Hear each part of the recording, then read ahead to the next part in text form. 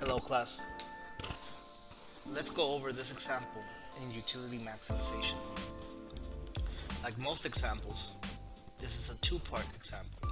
First, we need to be able to figure out what our consumption bundles are for this consumer and illustrate a budget line. Secondly, we need to determine which of these bundles is going to give us our optimal consumption in terms of utility. This is what we call utility maximization. Let's start with letter A. Which consumption bundles can this person consume if he spends all of his all his income? Illustrate your answer by drawing the budget line. So, let's start with the consumption bundles. For the consumption bundles, we have to keep in mind two things. First, how much money we have in our budget. In this case, it's $50. And secondly, we need to know what the price of each item is. In this example, a notebook is $5 and a CD is $10. We must remember our assumptions in utility maximization. The key assumption here is that we must spend all our money to maximize our utility. Let's begin. Let's get our first one.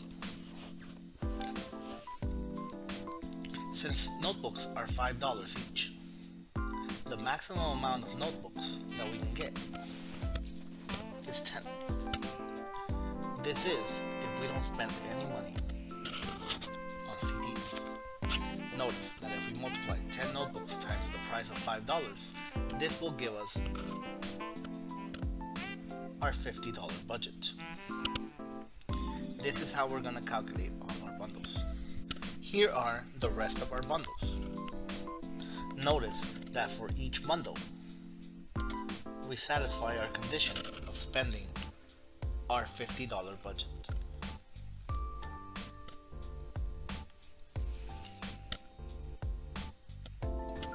If we get our budget, which is $50,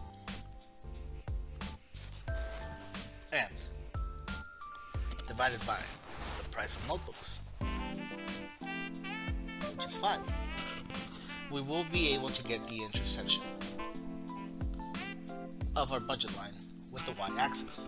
Similarly, we can get our x-axis intersection by dividing, again, our budget, which is $50, by the price of CDs,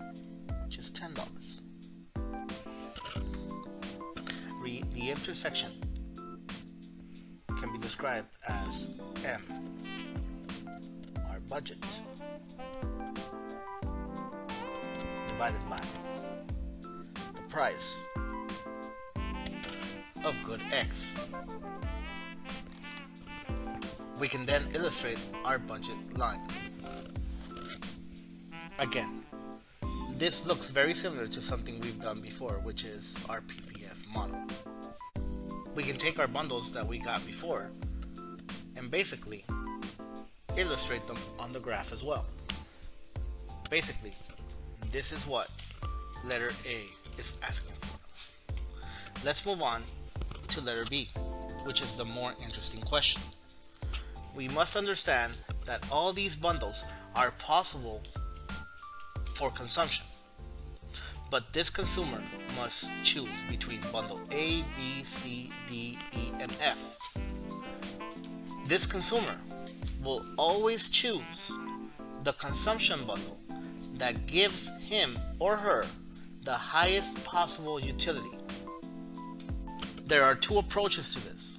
Let's go over the easiest approach. Bundle A contains 10 notebooks and 0 CDs. Therefore, we must get the utility we get from 10 notebooks and from 0 CDs. Let's look at our table. 10 notebooks gives us a utility of 250. Wow. 0 CDs gives us a utility of 0. This means that our total utility for bundle A is 250.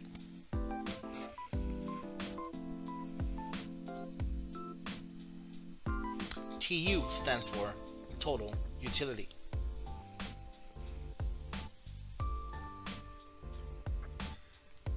Let's figure out what each of these bundles gives us in terms of total utility. We now have the total utility for every bundle. It is easy to see that in this example, the bundle that gives us the most utility is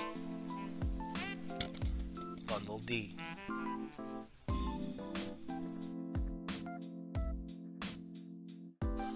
In order to solve letter B, we need to be able to determine the marginal utility per dollar of each good. Why do we need to know this? Because the optimization rule is that in order to maximize utility, you must take the marginal utility of good X divided by the price of good X and it has to be equal or as close as possible to the marginal utility of good y divided by the price of y.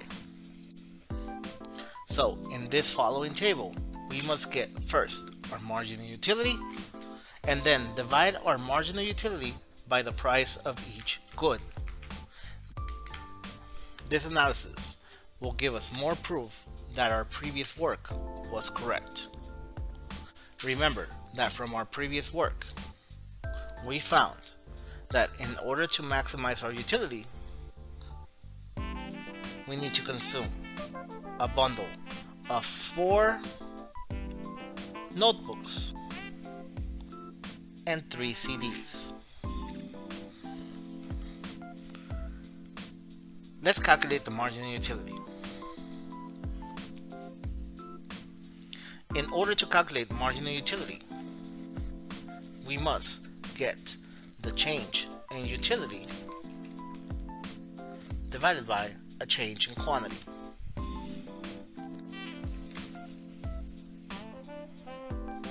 In order to calculate marginal utility, we must get the change in utility divided by the change in quantity.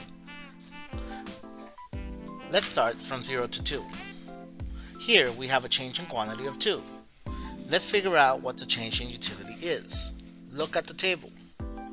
The change in utility is from 0 to 70. So we have a 70. Therefore, our marginal utility per dollar at 2 units is equal to 70 divided by 2 is 35. Let's do one more together. When we go from 2 to 4, again, we are dividing by a change of 2. And the change in utility is from 70 to 130, meaning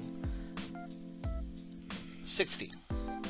60 divided by 2 is, let's list down the rest of the marginal utilities.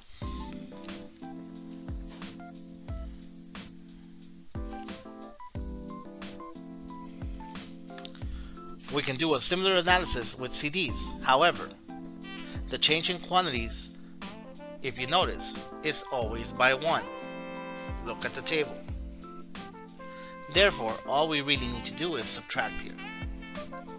So the first marginal utility is 80, 70,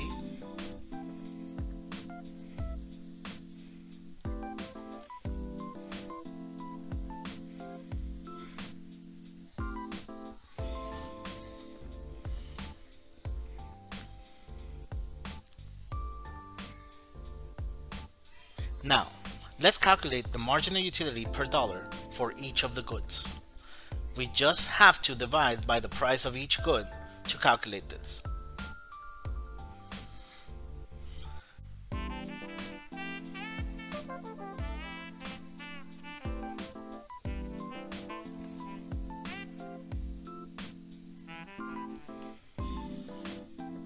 Let's do the same thing for CDs.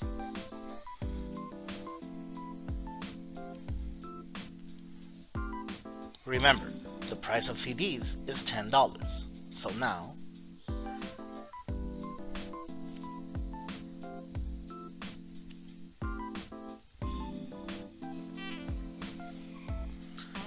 Notice that at our bundle, the margin utility per dollar of notebooks is 6 and 6 which satisfies our original optimization rule which is the marginal utility of notebooks divided by the price of notebooks must equal the marginal utility of CDs divided by the price of CDs, which is which in this case is 6 equals to 6. Now, you might be wondering why we don't choose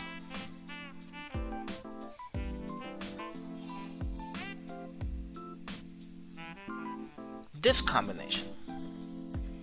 After all, the margin utility is equal. But let's analyze that further. For that 4, we have a quantity of 8. And for this 4, we have a quantity of 5. What assumption am I breaking now? I am breaking the assumption of using my budget. Notice that in order to consume 8 notebooks and 5 CDs, we would need to be spending 8 times $5 plus 5 times $10. This combination would require that I spend $90. Remember that my budget is 50. Let's pick another example.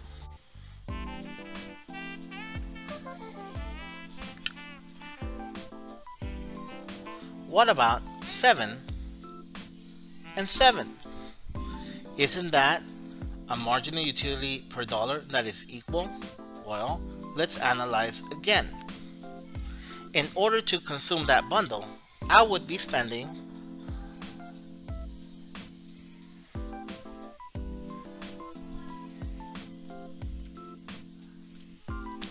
two units at a price of $5 plus two units at a time at a price of $10. $30. Remember our original assumption. Even though this is in our current budget, in order to maximize utility, we must spend our entire budget. If we don't, we are breaking one of the rules of utility maximization.